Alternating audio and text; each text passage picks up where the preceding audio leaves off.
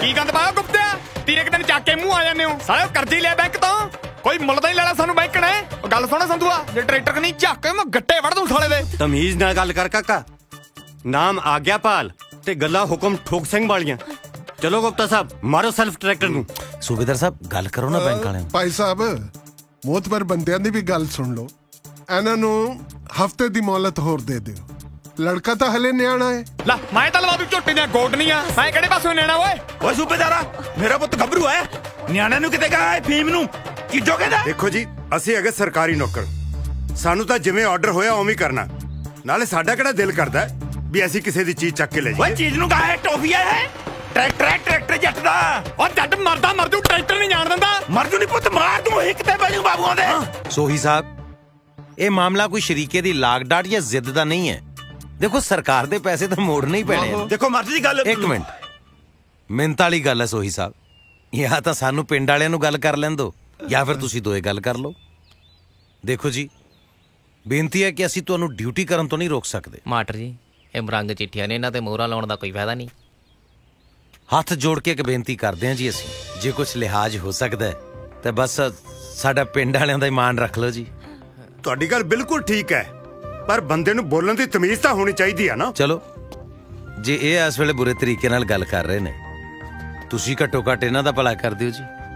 ਫਰੀਦਾ ਬੁਰੇ ਦਾ ਭਲਾ ਕਰ ਗੁੱਸਾ ਮਨ ਨਾ ਹੰਡਾਏ ਦੇਹੀ ਰੋਗ ਨਾ ਲੱਗ ਗਈ ਪੱਲੇ ਸਭ ਕੁਛ ਪਾਏ। ਠੀਕ ਹੈ ਜਿਵੇਂ ਤੁਸੀਂ ਕਹਿੰਦੇ ਕਰ ਲੈਣੇ ਆ। ਪਰ ਮੈਂ ਇੱਕ ਗੱਲ ਦੱਸਦਾ ਅਸੀਂ ਇੱਕ ਹਫ਼ਤੇ ਦੀ ਮੋਹਲਤ ਦਿੰਨੇ ਆ। ਜੇ ਸਾਡੀਆਂ ਕਿਸ਼ਤਾਂ ਨਾ ਪਹੁੰਚੀਆਂ ਤਾਂ ਅਸੀਂ ਟਰੈਕਟਰ ਚੱਕ ਕੇ ਲੈ ਜਾਾਂਗੇ। ਚਲੋ ਸੰਧੂ ਸਾਹਿਬ। ਚਲੋ ਬਹੁਤ ਤੂੰ ਐ ਕਰੀ ਓਏ। ਬੜੀ ਹਫ਼ਤੇ ਬਾਅਦ ਨਹੀਂ 4 ਮਹੀਨੇ ਬਾਅਦ ਆ ਜੀ। ਜੱਟ ਦਾ ਸਟੈਂਡ ਹੀ ਰਹੂਗਾ। ਜੱਟ ਦਾ ਸਟੈਂਡ ਤਾਂ ਚਾਹੇ ਉਹੀ ਰਹੇ ਪਰ ਟਰੈਕਟਰ ਦਾ ਸਟੈਂਡ ਤਾਂ ਹੁਣ ਬੈਂਕ 'ਚ ਹੀ ਲੱਗੂ। ਭਾਵੇਂ ਗੁੱਸੇ ਹੀ ਕਰ ਜੀ ਉਹ ਗੱਲ ਹੈ ਬੋਦੀ ਮਰ ਜਾਏਗਾ ਮੇਰੇ ਹੱਥੋਂ।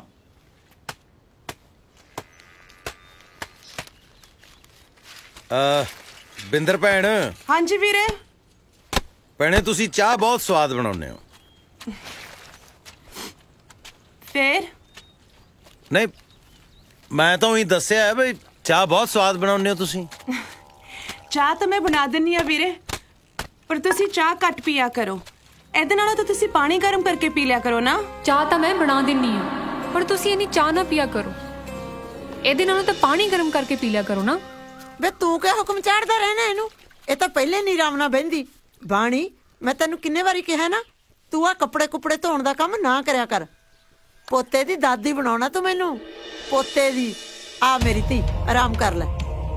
ਮੈਂ ਤਾਂ ਪੋਤੇ ਦਾ ਨਾਂ ਵੀ ਸੋਚ ਰੱਖਿਆ ਕੁਲਤਾਰ ਰੱਖੂ, ਕੁੱਲ ਨੂੰ ਤਾਰੂ। ਪੀਰ ਦੀ ਸੁੱਖ ਸੁਖੀ ਐ, ਤੇ ਡੇਰੇ ਵਾਲੇ ਸਾਧ ਦੇ ਵੀ ਲੰਗਰ ਕਰਨਾ ਸੁੱਖ ਕੇ ਆਈ ਬੀਜੀ ਬੱਚਾ ਜੋ ਵੀ ਹੋਵੇ, ਕੁਦਰਤ ਦੀ ਦੇਣ ਆ। ਬੱਚਾ ਤੇ ਬੱਚਾ ਹੀ ਹੈ ਨਾ। ਕੁਦਰਤ ਦੀ ਐਸੀ ਦੀ ਤੈਸੀ। ਜੰਮਣਾ ਤਾਂ ਤੂੰ ਹੈ ਨਾ? ਨਾ ਮੈਂ ਨਹੀਂ ਜੰਮੇ ਦੋ ਸ਼ੇਰਾਂ ਵਰਗੇ। ਕੁੜੀ ਬਾਰੇ ਤਾਂ ਮੈਂ ਸੋਚਿਆ ਹੀ ਨਹੀਂ ਸੀ। ਸੋਚੇ ਵੀ ਮੁੰਡੇ ਤੇ ਜੰਮੇ ਵੀ ਮੁੰਡੇ। ਬੇ, ਤੂੰ ਕੀ ਝਾਕਦਾ ਕੋਠੇ ਤੇ ਖੜਾ? ਪਾਪਾ ਤਾਂ ਤੁਰ ਗਿਆ ਤੇਰਾ ਪੋਤੇ ਨੂੰ ਤਰਸਦਾ। ਪਰ ਮੈਂ ਨਹੀਂ ਮਰਨਾ ਪੋਤਾ ਖੜਾ ਹੋਏ ਬਿਨਾ। ਕਹਿ ਦੇ ਇਹਨੂੰ। ਬੋਲ ਗੁਰਮੁਖਾ ਬੋਲ। ਗੁਰਮੁਖਾ? ਉਹ ਗੁਰਮੁਖਾ! ਕਿੱਥੇ ਦੀ ਟਿਕਟ ਕਟਾਈ ਹੋਈ ਹੈ ਚਾਹ ਉੱਪਰ ਆਏ ਕੇ ਤੂੰ ਥੱਲੇ ਆਏਗਾ। ਮੈਂ ਹਾਂ ਜੀ। ਨਾਲੇ ਅੱਜ ਦੀ ਰੋਟੀ ਵੀ ਸਾਡੇ ਵਾਲੀ ਖਾ ਲਈ। ਬਿੰਦਰ ਨੇ ਸਾਗ ਤਰਿਆ ਹੋਇਆ ਹੈ। ਜੀ। ਆ ਨਾਲੇ ਬਾਬੇ ਦੀ ਬਾਣੀ ਦੇ ਲੜ ਕਿੰਨੇ ਕੁ ਵਜੇ ਲੱਗਣਾ ਹੈ? ਬਾਣੀ ਦਾ ਲੜ ਤੇ ਹੁਣ ਕਦੇ ਛੱਡਿਆ ਹੀ ਨਹੀਂ ਜਾਣਾ ਜੀ। ਹੈ? ਕੀ ਕਿਹਾ? ਮੈਂ ਕਿਹਾ ਜੀ ਮੈਂ ਖਾ ਲਾਂਗਾ ਜੀ। ਸਤਨਾਮ ਵਾਹਿਗੁਰੂ।